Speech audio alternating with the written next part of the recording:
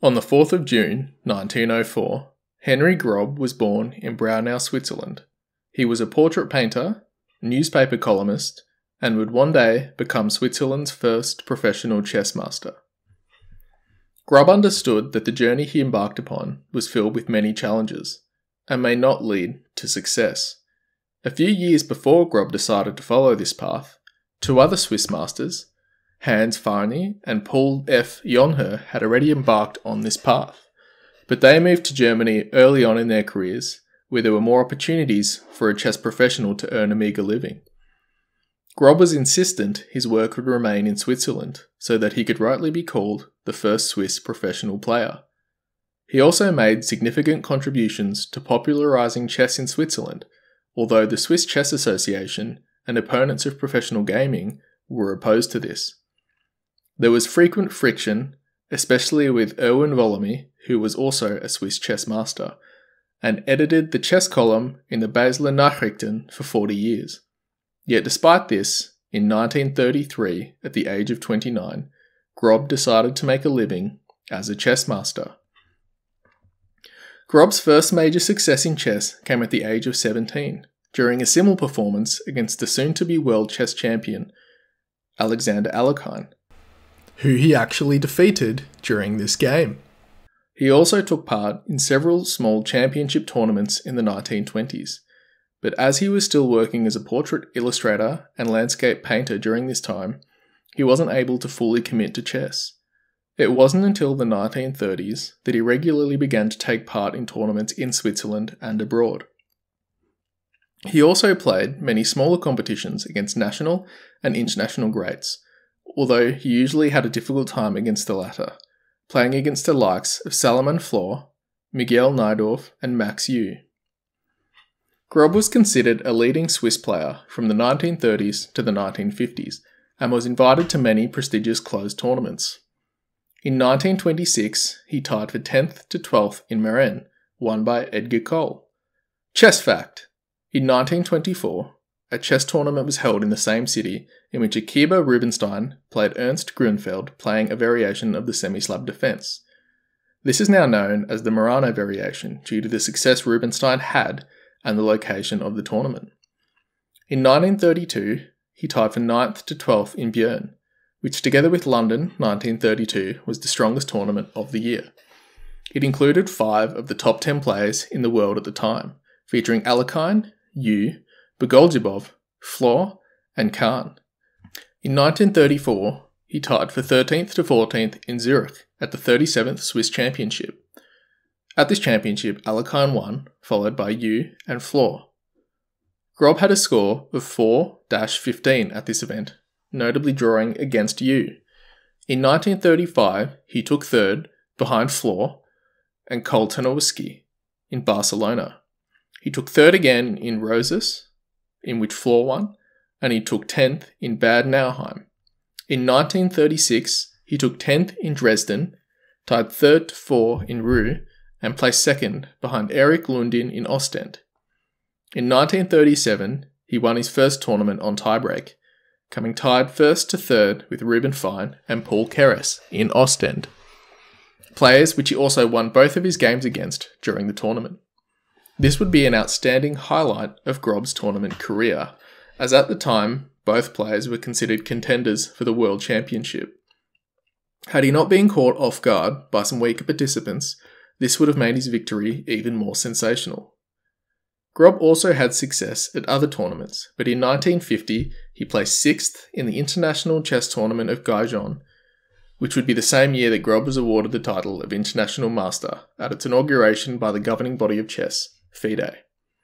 Grob claimed the title of Swiss champion twice in his career, in 1939 and 1951. Later in life, Grob was unfortunately unable to build on his earlier chess success. As a result, he made a name for himself as a chess writer and organizer.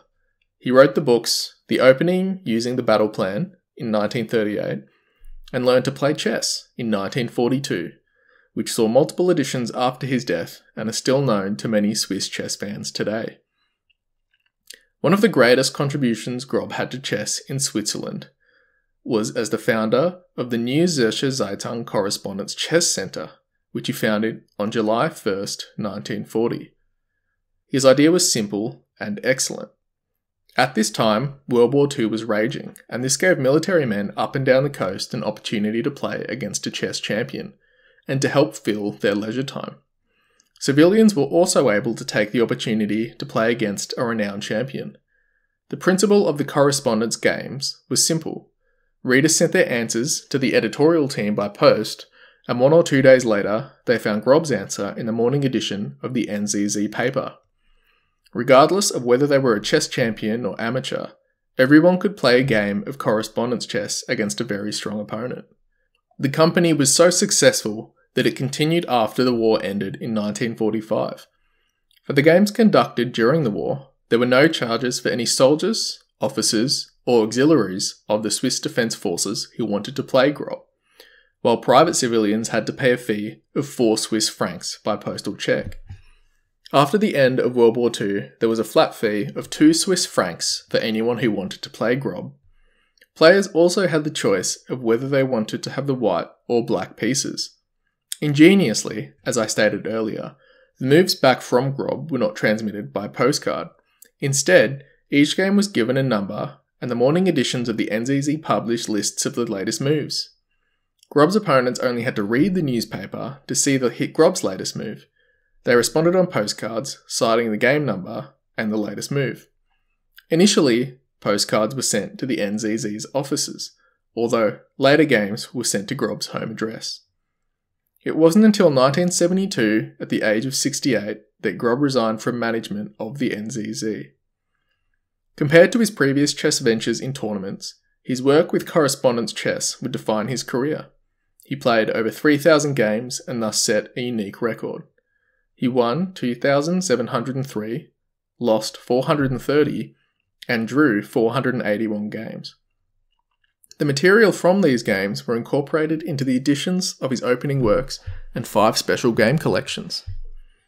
Grob achieved success as both a tournament player and as a chess writer and organiser, but in my opinion, his greatest achievement was the theoretical work and games throughout his career that he played with the opening 1 G4.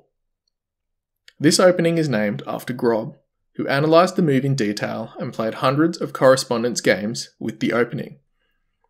In the NZZ newspaper column, Grob called the opening a spike opening, which is a name that is still used occasionally, although today it is more commonly known as the Grob attack. Grob also wrote a book on the opening called Angriff, or Attack G2 G4.